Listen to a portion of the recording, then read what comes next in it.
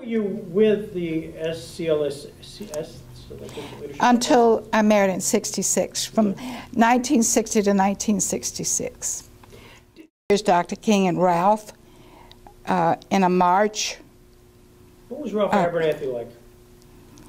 Ralph was very supportive of Dr. King. He was like the, his right arm. Dr. King depended on him a great deal. Um, they had been together in Alabama, and both uh, Dr. King's, their wives were very close. They were really like brothers, very close. Yeah, out of Birmingham, Alabama, who was a very strong voice in Birmingham, Alabama. And he moved to Cincinnati, and I, you know, knew him from the civil rights movement in Birmingham when we were there, as well as in Cincinnati, Ohio. And Bob Moses. Bob Moses was a young man out of Harvard who came south to work on the civil rights movement, mainly, mainly voting rights, and spent a lot of time educating young blacks in math. Ella Baker. Boy, there's an interesting picture of Ella Baker. Um, Ella Baker was head of the student movement. She worked with many of the young students, trained them, uh, was a great advisor to them, had difficulty in relating to Martin Luther King Jr. because she had difficulty with ministers. And that was a, a, a source of tension within the movement was, was Ella Baker. One of my favorite, Fannie Lou Hamer. Fannie Lou was out of Mississippi. She spent time at our home when we lived in Cincinnati after we got married. But she was a great lady.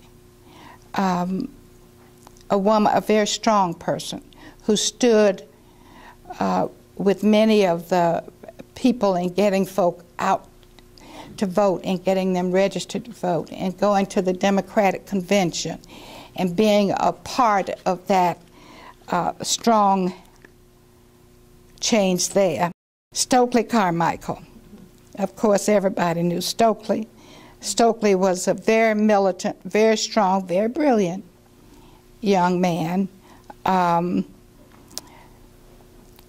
who was a little too militant at some point in terms he brought in the um, the point of view of of violence. He introduced that to a large extent. How did that, how did that play with Martin Luther King? It didn't play well with him at all. Yeah. He had real difficulty with the direction that the young people were moving. And to a large extent, I think that he felt that it was going to really destroy everything that he was trying to achieve through nonviolence. And he strongly believed that nonviolence was the only answer. And blacks did not have the means to have a violent struggle. They didn't have an army. They didn't own uh, a lot of guns. So they, that was a, a totally a loser from that point of view. Um, but in his heart, he believed strongly that nonviolence was really the only way to make the change. It was the only way to bring people into the fold to bring about change within the civil rights movement. And not only that, that it was the only way that people could survive living together. Um, because it was a way of life with him. He just felt it should be applied in your relationships with your children, in your relationships with your family. And he argued that point all the time, even though when some of the students wanted, wanted to take him in another direction, he couldn't be moved on that. Did he ever no try way. to reach out to Stokely Carmichaels of the world? Oh, yes, absolutely. But they didn't want to hear. At that point, they felt that they knew more than he knew. And they would argue with him. He would listen, but he would stand and say that they were really on the wrong path. And this was not the way to achieve um, integration. It was not the way to bring about what he called the beloved community. Oh, Julian Bond. Julian was kind of the uh, public relations person for the Student Nonviolent Coordinating Committee. He did all of their um,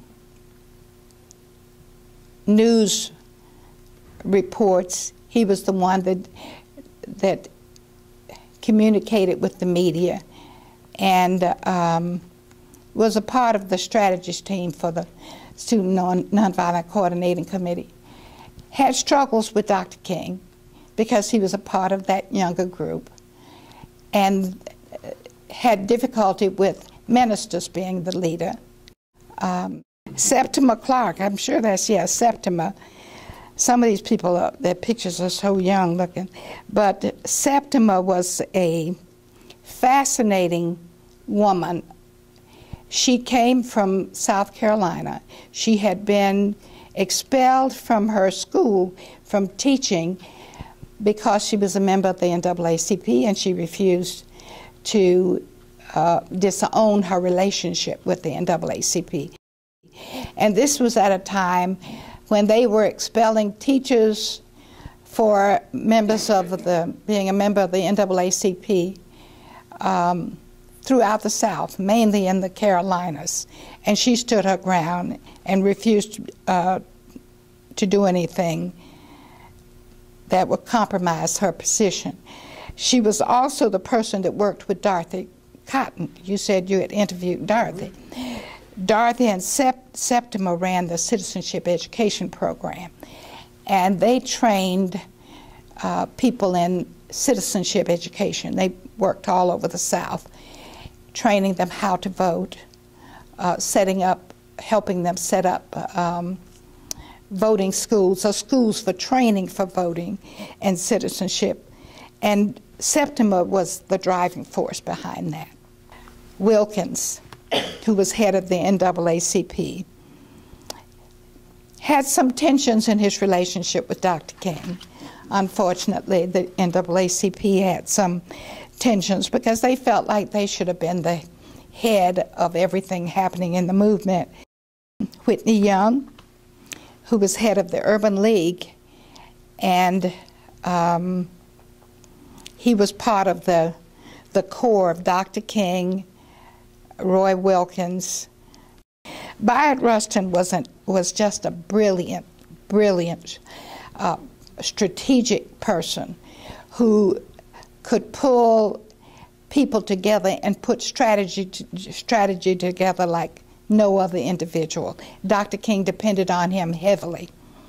John Lewis, many of you know about John Lewis, who is now in Congress, and he was with the student organization.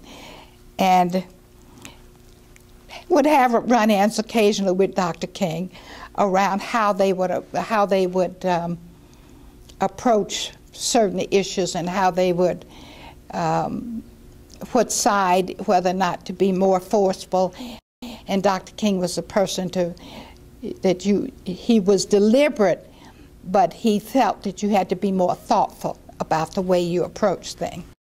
Rosa Parks, um, very quiet, very unassuming, not the kind of person that you would ever think would be the person to just sit down and not move, but she had been trained over a period of time to really be prepared for that moment, and she rose to the occasion. If I had, you know, I just feel like I just, with, I hope I get class credit for this tremendous history lesson of the civil rights. Um, if I had a card with your picture on it, what would it say on the back? Worked in the background. I was um, a part of the team, but not out front.